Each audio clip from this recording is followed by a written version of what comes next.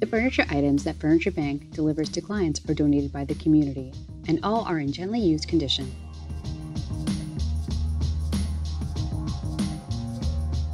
Furniture Bank is partnered with a service that uses formally trained dogs to inspect all furniture items that are donated. We do our very best at pest prevention.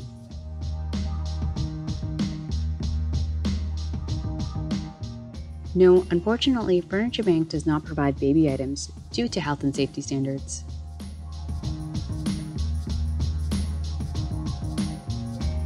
Through donation, Furniture Bank receives small household appliances and can provide these items based on inventory if they are added to the small appliances field.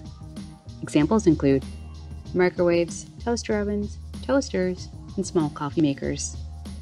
Furniture Bank does not provide large appliances.